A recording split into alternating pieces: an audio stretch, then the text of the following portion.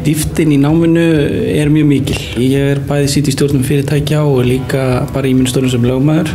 Þá þarf maður ofta að takast á við viðskiptatengt verkefni og námið hefur hjálpað mér að takast á við mjög flókin úrlösnefni hvað það varir.